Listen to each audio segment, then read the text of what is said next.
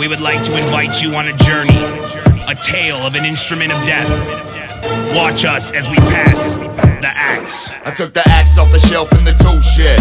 It's telling me I got a fucking bloody the misled. My victim approach, cut her head off at the throat. She was a hooker with AIDS, spreading disease like it was dope. Cut the head off her pimp before he started the trash talk. Two bodies in my trunk and police on the manhunt. I'm on the loose again. They chasing me for blocks. See the homie on the street, so I pass the axe to I took the axe, what the fuck am I supposed to do with that? It's all bloody and it looks like it's been in and out of someone's back. Gristle on the handle, blood dripping down the neck, so I grabbed that bitch like, Who wanna get halved up by the half-wit? Who got a gang of problems and don't give a half a shit, bitch? You can fall victim to the double-headed fury. Don't be scared, be worried, man. something